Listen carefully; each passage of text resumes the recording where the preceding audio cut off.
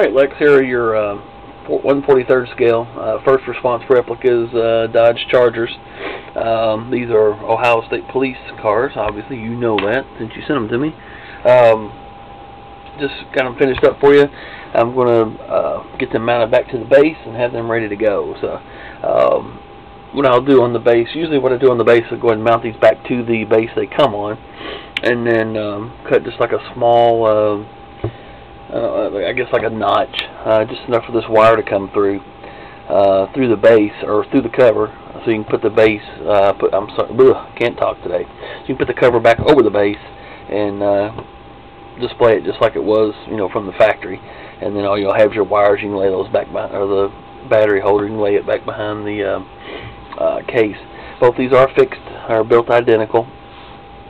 Um, the uh, batteries on these. Just a small little battery holder and got a little button on them. And I will send them with a little tab in there so when you so they won't accidentally turn on. When you pull that out, it's automatically going to go or turn itself on and go into um, the like a sample type setup where to run through the different patterns by itself. You see the tail lights, different patterns.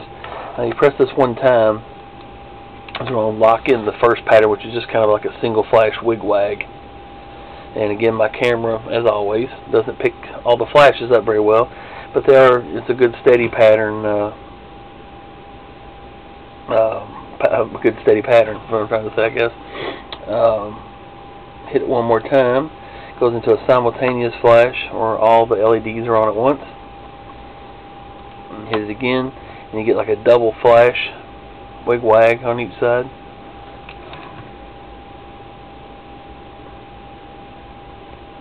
So each each one is flashing twice. It's just like it. My camera picks an LED to, to focus on. It seems like it doesn't want to pick them all up. And then you hit it one more time, it turns it completely off. Um, the other one, again, the same way. Uh, turn it on. Uh, goes through all the different patterns. Single flash, simultaneous, and then the double flash. So there you have it. Uh, turn them both on. Get them both into the same modes here, double flash.